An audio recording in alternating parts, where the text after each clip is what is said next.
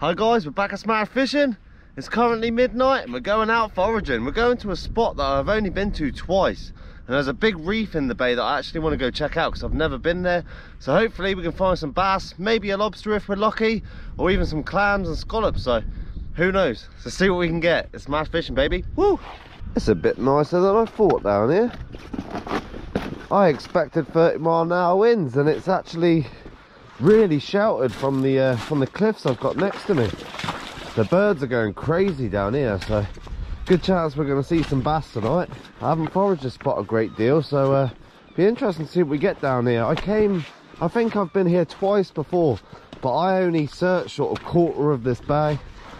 So we're going to do the whole thing tonight. We've got a 0.8 tide, which is a very big tide this time, so let's see what we can get. It's going to be an interesting forage. I see a lobster tail just here. There you go. Little baby lobster. We've only been down here literally a minute. You see his tail just sticking out the hole there. That's lovely to see that. Little lobster in the first five minutes. Hopefully we can get a keeper. We're in a giant causeway at the moment and that tide's screaming out of here. So what I'm doing is I'm just marching my way down with the tide. Because often you'll catch the bass the lobsters and everything leaving with it so it's a great tip. Like never go into fast moving water but just stay on the edge of it and creep down. Yes i nearly walked past it! I just caught this monster just walking around in the shallows and that's what i was talking about. Guys look at the size of this bloody lobster. Excuse my french oh yeah. That is a beauty. Wow. I just caught it in the corner of my eye and look at that. What an absolute chunker. I was actually looking for bass in the shallows here. I'm just walking around the streams. And shabam! Look at the size of that buster. Massive solid lobster Oh, you beauty. Let's get some bands on this bad boy. I did not expect that. I was like stuttering trying to get the camera on because I couldn't believe my eyes. Look at the size of that. You beauty. Let's hopefully get some more. Come on. That is a warrior. Look at that compared to my hand. You absolute diamond. That is definitely what we're after. I forgot my lobster banding tool today, so it's back to the old electrical tape. What a lobster though. That is an absolute beast. Last thing I want is this thing biting me. It's going to be a very sorry day if it did.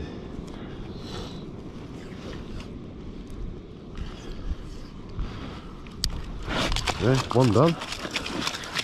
God, I can't believe that. I just turned around. I was just walking my way through really slowly and I just looked down to my left and it was just walking down the stream trying to get out the tide. Oh, that's so cool. This is why I love foraging. You just never know. Hopefully, this is a sign of things to come and we start getting a few that there is a prime lobster. Absolute prime lobster. All right let's get it in the foraging bag. Let's go get some more. Woohoo! Did not expect a lobster that big. It's not an absolute giant lobster but for a male as prime as they come. Perfect eating size. And you're going right in my foraging bag there we go. He's going to sit like that. I'm going to put some seaweed in there as well. Just to keep him cold because we've got two hours of the tide going down yet. And it's going to go as, it's going to go a seriously long way down.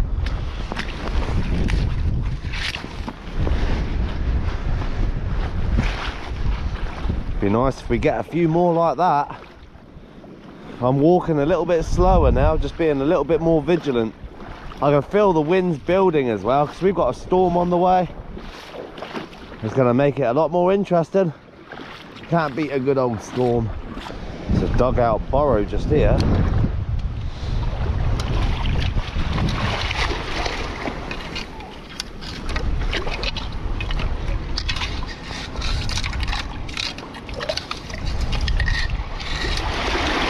Nothing in it.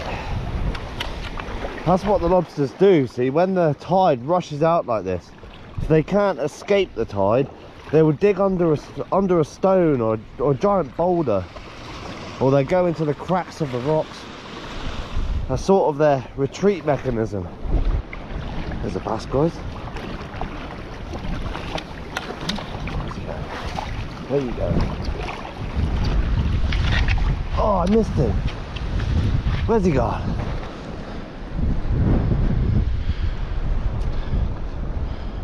Oh, well, he's gone. That's the second bass I've seen tonight. They're so quick. That's the thing, you can see bass, doesn't mean you're gonna get them.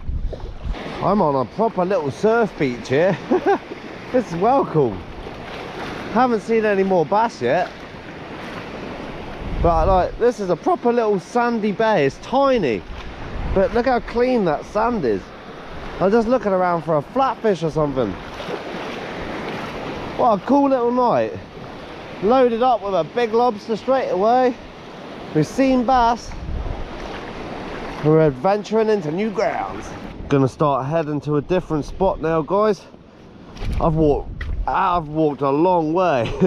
I don't know how long, I've, I've been walking for about best part of half an hour looking around and the grounds like this, it's just become very barren. So I'm gonna head back the way I was and then go over the other side and hopefully we can find some better ground. This is such good foraging ground. Like you see, you've got these giant boulders and a mix of reef and sand, but like it's all stretched out over a long period. This is brilliant foraging ground. Definitely going to be coming here a lot more. But at the moment, we, I've probably seen about six bass, but they've all been sort of a pound and a half, two pound. I've seen no decent fish yet. There must have been an oyster bed round here. Never seen this before. It's cool. This is where they would have grown oysters back in the day. What a cool structure. See if there's any basils around it.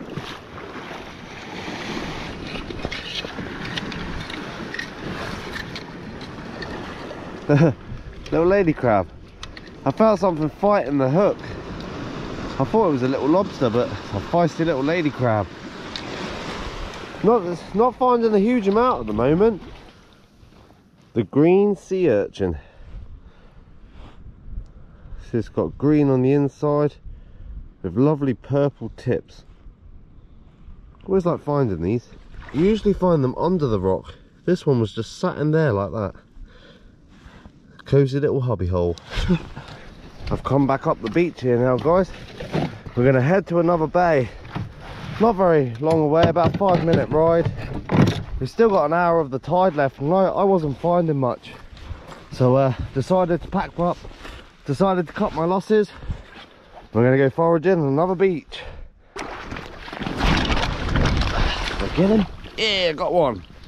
What is it? As soon as I got here,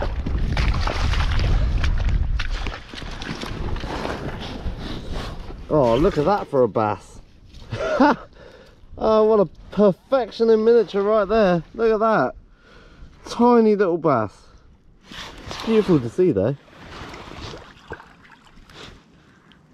Lovely little fish. I could see loads of them in the shallows here.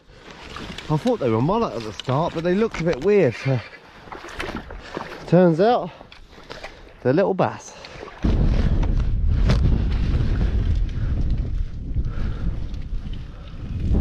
No lobsters in there but look at that. I didn't even see that until the last minute. Look at this. Sitting in the corner of the rock there's a lobster hole here. And we've just found a scallop. You beauty that's well in legal size that. As uh, JP would do is put his hand on it. That's well over four inches. Beauty. Got a nice scallop there. Hopefully we can get a few more of these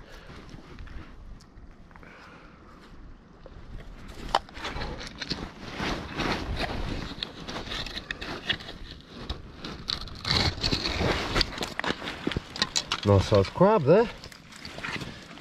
Brown edible crab or shanker they're known as. Don't find a lot of really big ones because they like to live in the deep But on the very big tides, occasionally you do find some. But that's not big enough for us.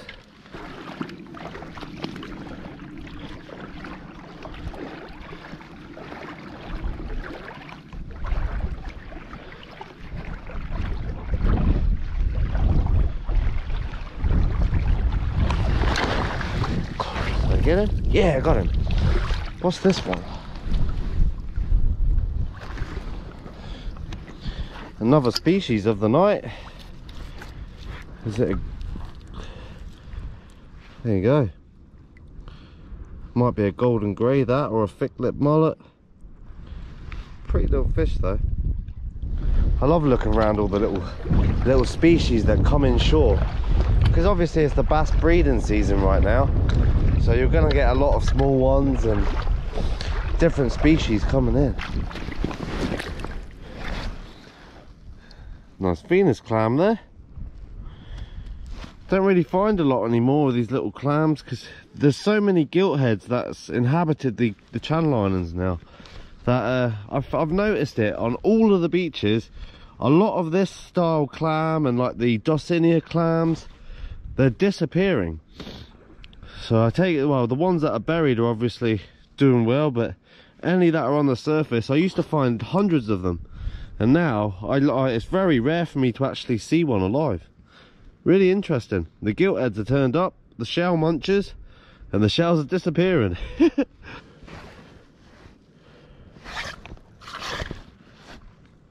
Building a little fortress there. Gilt head's gonna have that for a snack later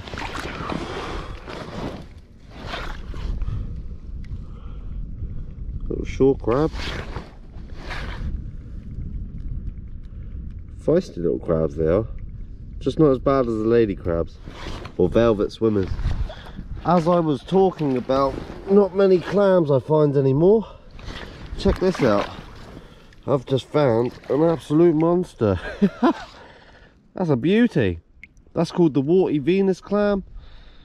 That is a big one as well. They don't get a huge amount bigger than that.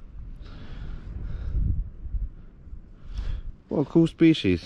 So you got Venus clam and the warty Venus clam. The shell on these are super thick and solid. That's probably why he survived the gilthead rampage. Just stick him in like that, put his friend there, hopefully they survive. I've decided guys, the tide's coming up so quick now, uh, I'm not going to find anything else. So I'm going to put the scallop back. Usually I would want like two or three at least to keep scallops. And we got a lovely lobster that we found at the start of the trip as well. So I'm just going to leave that there. There's no point me taking it just for the sake of it. And I've got a big juicy male lobster like that absolute beauty so i'll see you in the kitchen guys look at the claw on that that's one of the biggest lobsters i've foraged in a while it's always hard to gauge the size of stuff on camera because these these gopros and stuff are magnified so waves look smaller the lobsters look smaller as well that's best part of a kilo it's definitely over a kilo that that lobster probably two and a half pounds i was so surprised to find that today in the stream I'm glad I did because I didn't find much more after that apart from a few little bits. So what I'm going to do for now is I'm just going to boil the lobster.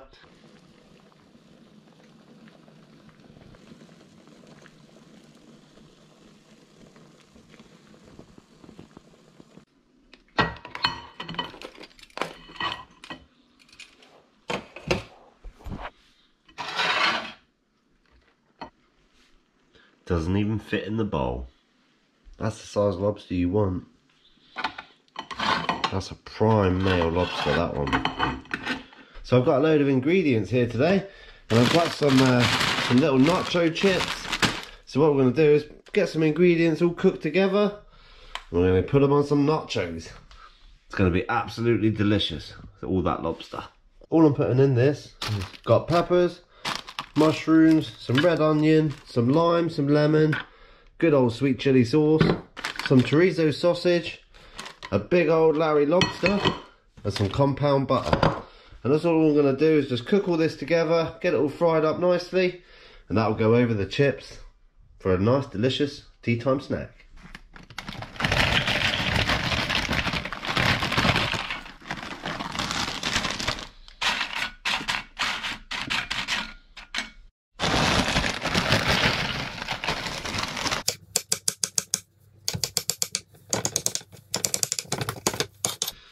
I'm just doing a little bit of each. It's only me eating this. So we've got our mushrooms, got a little bit of red pepper. And I, I'm not really fussing with this. I'm literally just chopping it up. Some nice little cubes there to pick up with the chips. So I want a little bite-sized pieces. This is going to give it a really nice smoky flavour.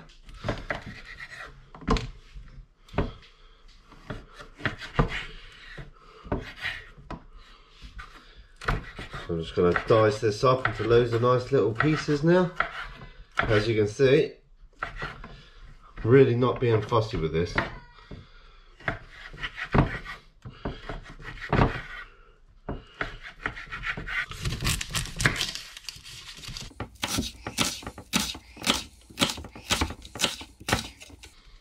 Don't want too much onion in there. That's our red onion all chopped up. That will all break down and whittle down to not much. As you can see, we're getting a nice little selection of ingredients here. So all that's left really is just to crack the lobster up, get that meat out, and we're good to go. So I've picked our lobster now guys. Got a big old juicy piece of meat out of that. That's what I'm going to do. I will chop this up into fine pieces soon. But what I'm going to do is cook down our ingredients. In goes our little compound butter. That's just got parsley, black pepper, salt and Guernsey butter. That garlic is smelling delicious.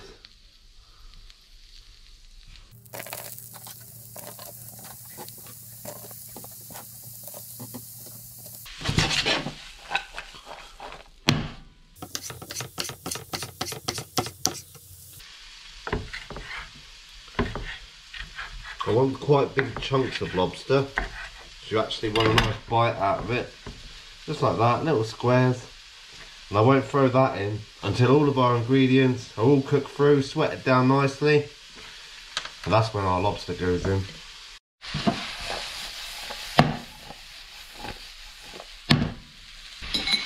While I'm at it, we've got some green jalapenos. Let's get some of those in there. Know a bit of spice will go lovely in this. That'll do for me. But obviously you could do that to your own taste. We're to hit it with some white pepper. Oh yeah. Himalayan pink sea salt. I'm just to put a little bit of thyme in there. Get that all sweated down nicely guys. And our lobster is nearly ready. This looks absolutely delicious. Nice and simple as well. But that there is a big ball of flavour.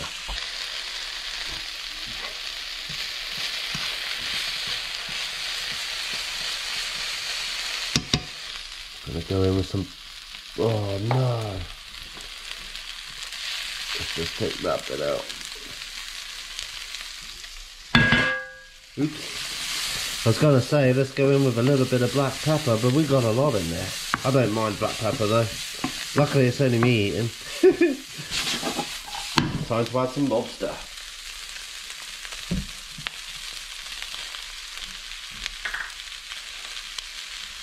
There we go. Plenty lobster meat in there. This is a big mix up, this is. Oh yeah.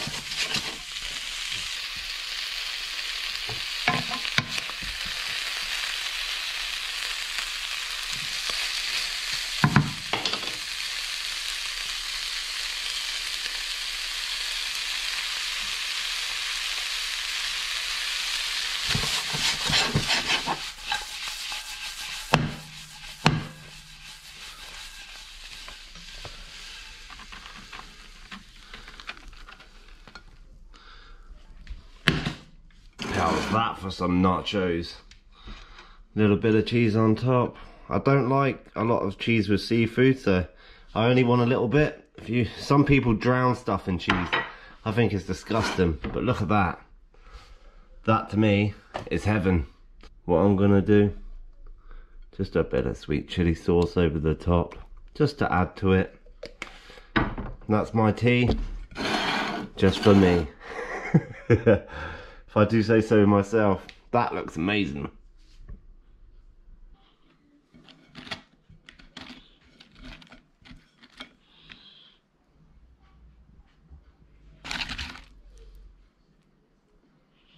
I'm having nachos with a ginger beer.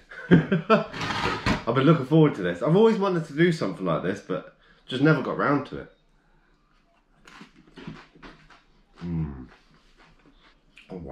That is good. That is really good. Mmm. Okay. The Mexicans know how to eat them. this is delicious. Absolutely delicious. You get a nice little spice from the uh, jalapenos as well. Or jalapenos, however you want to say, say them. Mmm.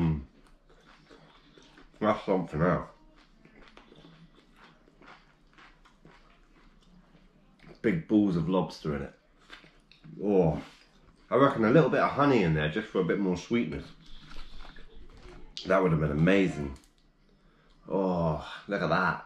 I don't know why I haven't done this sooner. Mmm. Yeah, this is definitely my thing. This is absolutely delicious. I don't even want to talk this time, I really don't. this is absolutely amazing. Mmm. I've outdone myself on this one. Oh, because you got that spice with the chorizo as well you get that smoky flavour with a bit of uh, bit of spice, and then you can get that black pepper. The amount I put in was probably actually good because it's heating it up a bit more. I think. I think that's why I'm enjoying it more. I think it's the black pepper. That's good to know. A bit more extra black black pepper makes the food taste better. Mmm, that's so good. And check this out, guys. Pick up a big old nacho chip. Look at that. That is to die for. That is absolutely to die for. Oh, what a cool trip as well. Went to the new area. I found like I found like a, a patch where it was really good ground, and I found a few bass, but just could not net them for the life of me. But um, apart from that, the sandy beach, I couldn't find anything. It was so clear. There wasn't even any like razor clams or gapers or stuff like that. So um, yeah, I moved off to a different beach and then we started actually finding stuff like the scallop and that big lobster was something else. I was actually like had my eyes sex when I'm looking for bass when I'm foraging, is I'm looking for a blue line in the water basically because the bass looked blue, and uh, I'm not looking for lobsters. But all I seen was his claw up like that. Literally, oh, sorry, it was on my left, down to my left near the rock, and it was uh yeah looked turned out to be a giant male lobster. Mmm and tastes good too. Mmm.